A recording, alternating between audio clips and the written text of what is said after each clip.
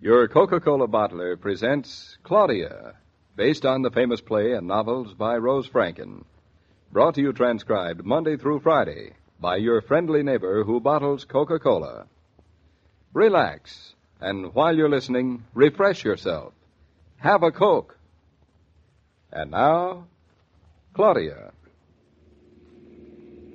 Women drivers. Why didn't she stay on her side of the road? David, it's too beautiful a night to shout, even at women drivers. Well, And I'd better stay beautiful, too. I'd murder you both if it started to rain. Getting me all the way down from Eastbrook just to go to Coney Island. I'm starting to think I'm as crazy as you are. You are. That's what's so congenial about you, Mama. Oh, it's a perfect night for Coney Island. Not too hot and not too And cold. there are going to be millions of stars. And seven million people. I see one already. Not a people, a star. That's Venus, the evening star. The Goddess of love. Hmm. Isn't it bright of her to be the first one to show her face at night? Only she's not very bright. Oh, you're so little. David, how much further to Coney Island? Oh, it can't be much further. The traffic's terrific here. Coney Island. I haven't been there in 20 years. Why don't you say 30 while you're at it? Not anywhere near as 30, Mama, but I am almost 20. Though I must say it does feel like 30 sometimes. She's just in the mood for Coney Island tonight, Mother. A little daft in the Do you suppose Coney Island has changed since I've been there? I don't think you've changed since you've been there either. You're right, David. She hasn't. A little taller, perhaps, but that's all. Used to be enormous, all roller coasters and bright lights and frozen custards. She thought of her stomach first then, too. First and always. Always. What else do you remember? I think you were only four at the time. My father was with us. Coney Island was his idea. Just the way it was David's today. Only our son isn't four years old. At least we have one. He'll be four someday. Sooner than you think, too. Everything sooner than you think. Let's see, what else about Coney Island? I know the Ferris wheel. I sat way up on top of the Ferris wheel. I remember the ocean stretching far away. She was such a little thing, David. The three of us sat together, just as we three are sitting together now.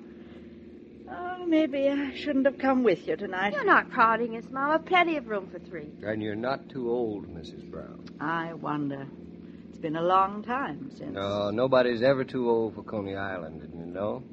Nobody's too young for it either. Thank you for thinking for me, too, David. Oh. Well, we'll see. Pretty soon, too. We're almost there. I can smell the ocean. Oh, I love the ocean.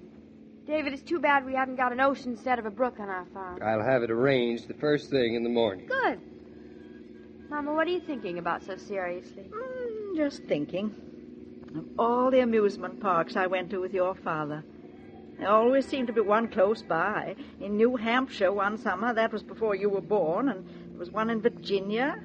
You were a year old then, and another in Delaware. Heavens, you certainly bought out the amusement park market, didn't you? Seems like a great many looking back. Confidentially, David, I think my father and mother were just as crazy as we are. You two are sober citizens by comparison. Don't, don't be so smug. Oh, um, we can't even be crazy uniquely. All right, now, women, make up your minds. Where do you want to go first? I want to begin at the beginning and end at the end. Mm, but who's to say where's the beginning? The David, point? why don't you just park the car and we'll tack Coney Island from the boardwalk? Mrs. Brown, you have spoken like a veteran. The boardwalk first.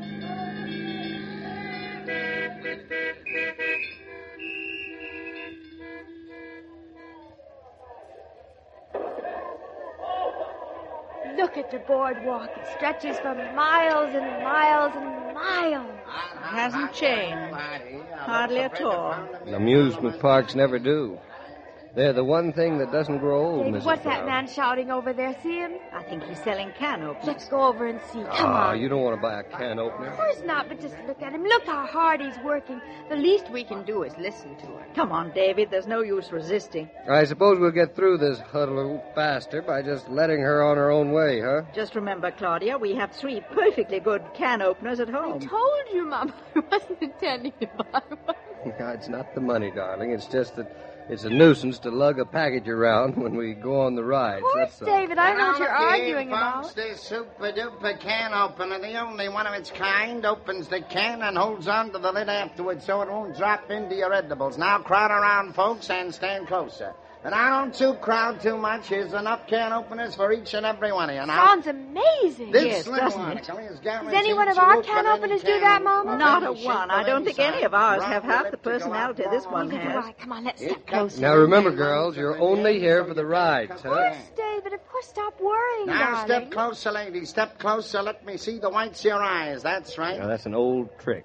He gets you so close you're afraid not to buy something. Now, here we are. Notice the beautiful stainless steel finish on this gadget. Spotless, forever clean and pure. Now, notice the sharpness of the teeth, self-grinding. You'll never have to have them ground. And now I demonstrate and hold on to your hats because never in your life have you seen such a can opener. No modern kitchen, no housewife who prides herself on the efficiency of her kingdom should allow another moment to go by without buying such a can opener. how Observe. easily it cuts, Mom. I'm watching, Claudia. Shh. As easy as a steak knife through butter. really looks just that easy. What will they invent next? And now notice, come closer, come closer, ladies. I don't want you to miss the climax of this demonstration. Notice how this can opener grips, and I mean grips, the separated lid of the can. It actually does. I can see for myself. And Claudia. there you are. Now, have you ever seen anything with the like of it? Perhaps you have, but at what a price? This can opener in New York City proper costs at least one dollar a hundred cents. But what do you pay for it here? The same can opener, the very same, but cheaper because we have no expensive display and you are buying it directly from me.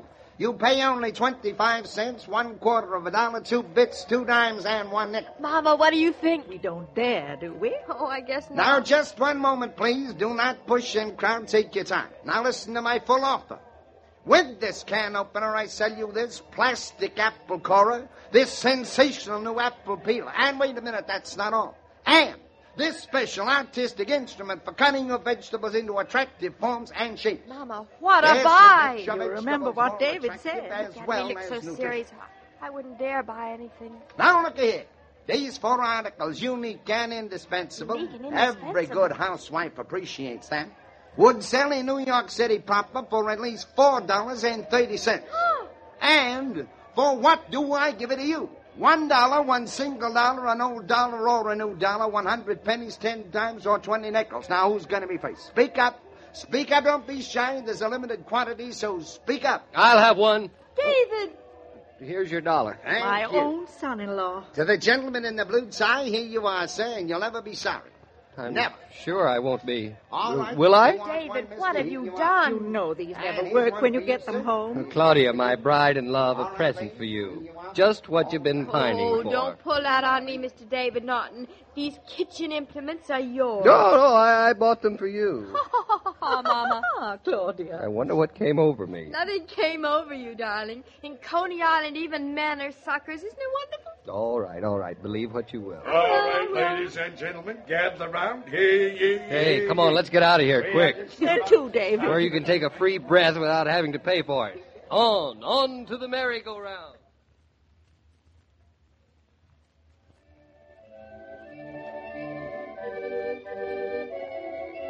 I wish this thing would stop. I'm getting dizzy. David, I've caught 14 rings so far. Come on, giddy up, War Admiral, giddy up. Hi, ho, silver. you look just like you're riding the rain. We'll stride the kitchen stove. Heavens, I must be dizzier than I think.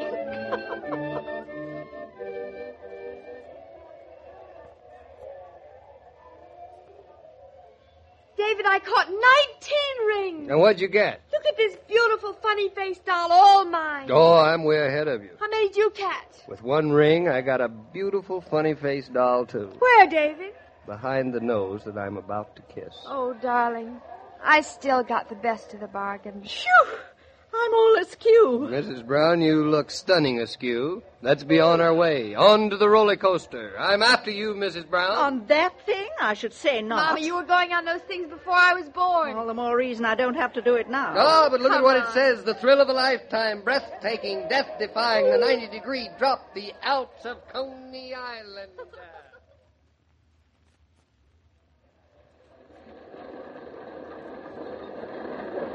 David, hold me tight. Come on, David. how you doing, Mother? Never again. Here we go. Hold on, here we go.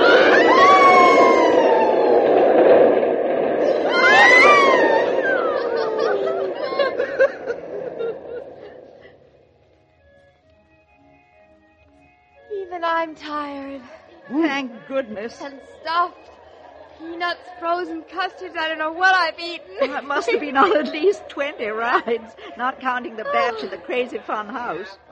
Well, I've saved the best one for last. You mean there's one we haven't been on? Oh, yes, the Ferris wheel. Not for me. I've had enough, and this time I mean it. What about you, darling? Oh, never enough without a Ferris wheel, David.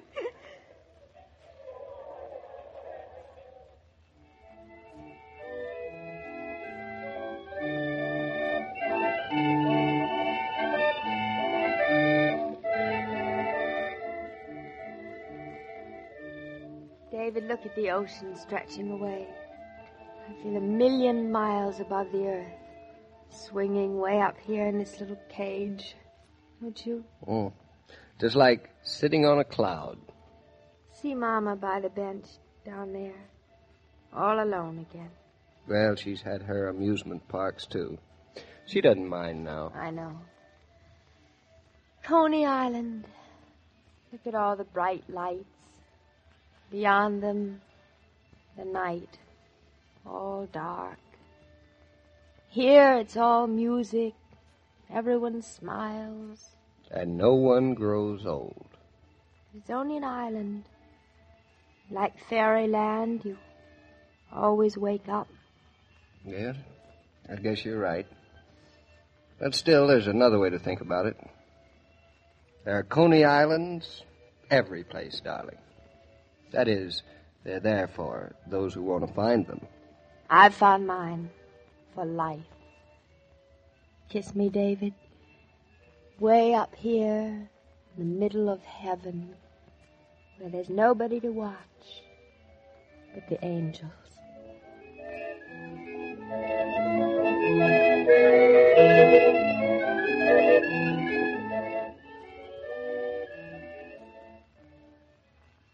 Breakfast to cook, dishes to do, beds to make, and house to clean. And that's just the beginning for most of you women who superintend households. Why not take a breather, pause, and refresh with ice cold Coca Cola? It's coming to you. And it actually helps get your jobs done when you refresh along the way. Coke costs so little that everyone can afford to work refreshed. Whew, Mr. King, do I look the way I feel? Well, uh, judging by the way you look, well, how do you feel, Mrs. Brown? Completely undone, to the four winds. Exhausted.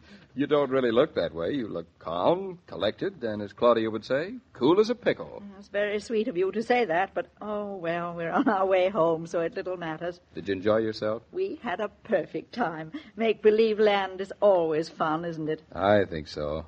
All kinds of make believe land. Coney Island, circuses, the theater. The theater. That's Claudia's favorite kind. Well, good. She's going to have her chance at it. Really? Well, you've always thought Claudia was a very good actress, haven't you? Well, not bad. The proof of the pudding is in the making.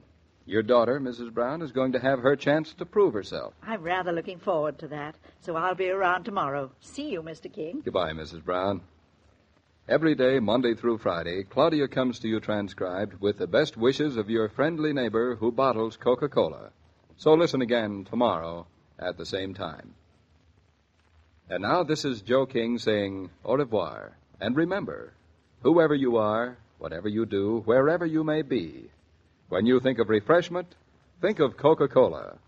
For Coca Cola makes any pause the pause that refreshes. And ice cold Coca Cola is everywhere. This broadcast of Claudia was supervised and directed by William Brown Meloney. And now, here's a word from your friendly neighbor who bottles Coca Cola.